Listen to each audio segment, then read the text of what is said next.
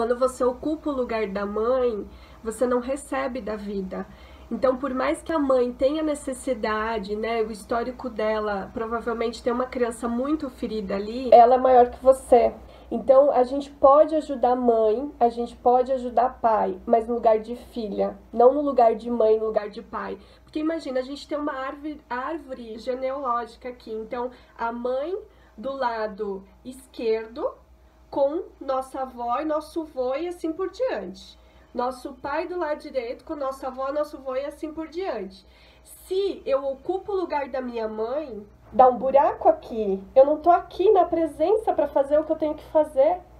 Então, Su, eu recomendo sim, assim, do fundo do meu coração, a gente vai fazer falas sistêmicas aqui, onde a gente vai estar tá falando com a essência da mãe, a essência, é, da sua essência com a essência da mãe. Então, quem não tem a mãe viva, ou quem não tem a mãe perto, não tem oportunidade de fazer nada presencial, faça, porque a gente está falando de quântico. Então vai chegar. Muitas pessoas, inclusive, saem da constelação e recebem a ligação de uma mãe que não fala dois anos. Por quê? Porque é quântico.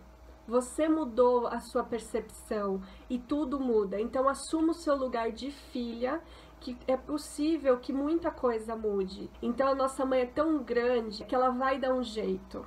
Pode ser o um jeito mais daquele que, mais inusitado que a gente vai olhar e vai dizer onde é que ela foi se meter, mas ela é grande, ela pode fazer isso. É a experiência dela, é o livre-arbítrio dela. E por amor a gente honra a escolha dela.